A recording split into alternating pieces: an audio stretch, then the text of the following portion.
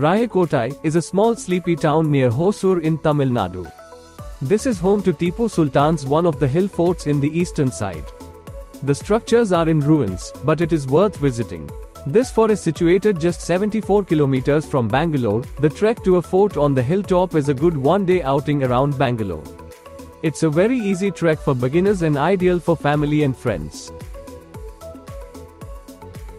The fort is situated within the town of Rayakottai which is one of the ancient fortress in the Krishnagiri district. It is now one of the protected monuments by the Archaeological Survey of India. In the 18th century, Hyder Ali and Tipu Sultan ruled this fort. The fort was captured by Major Gowdie during the Third Anglo-Mysore War in 1791. According to the Treaty of Srirangapatna, this fort came into the hands of the British. This place is highly recommended for travel enthusiasts who are prepared for light trek. The climb should not take more than 2 hours including breaks and the descent should be fairly quick.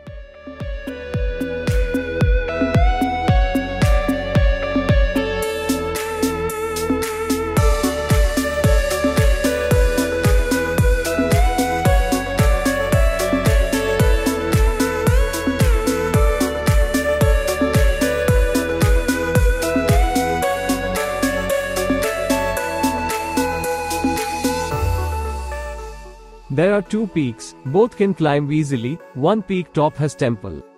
The peak provides breathtaking panoramic views of the towns and villages around. The fort ruins atop are very beautiful, and they provide a great insight into the history. It is worth spending a day hiking this hill to see the fort. It is one of the best hikes I have done from Bangalore as there are less number of people and is not a very hard hike.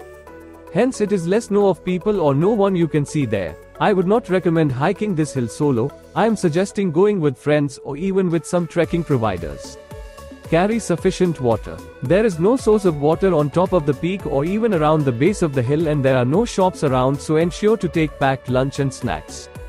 The path has no shade anywhere so it can get difficult when hiking during summers. Ensure to start the hike really early. How to get to Rayakottai Fort? Even though Rayakottai Hill is in Tamil Nadu, it is closer to Bangalore. So, you can reach there with public transport or your own vehicle. By own vehicle, NH7 towards Hosur, at Hosur, turn right at the signal towards Rayakottai after the flyover. From Bangalore the total distance is around 75 kilometers. At the bus stand ask for directions to the fort.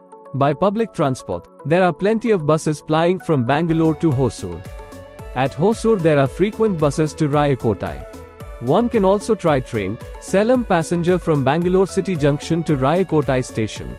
The train departs at 7.15 am from Bangalore City Junction. And return train to Bangalore is at 4 in the evening. Do not throw litter anywhere. Please respect nature and dispose your garbage only in proper garbage bins or carry them back with you if you do not find any garbage bins. Hope this video helped you. If yes kindly share with your friends circle. If you are not subscribed yet, please do and support us. If you have any doubts, please ask in comment box we are happy to help you. See you in the next video, thank you all, for your support.